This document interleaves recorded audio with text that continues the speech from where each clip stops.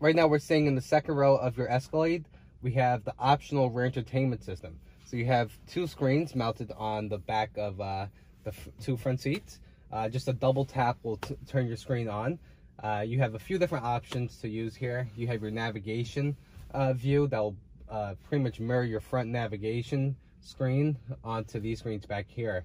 You can actually uh, type in or uh, search for a specific place, send it right to your driver, and then they have the option to accept it or decline uh, the request.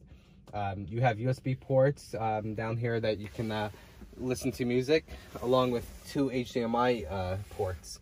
HDMI uh, ports you can use for mirroring information from a phone or a device.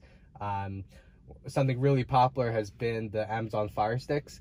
So you can pretty much plug a Fire Stick back there, um, touch your HDMI port or Miracast from an Android phone, and uh, you can stream Netflix, Amazon Prime, or any type of video source right here on this large screen. Um, you can use the wireless headphones that come with the vehicle, or you can uh, actually pair your own uh, headphones to the vehicle as well.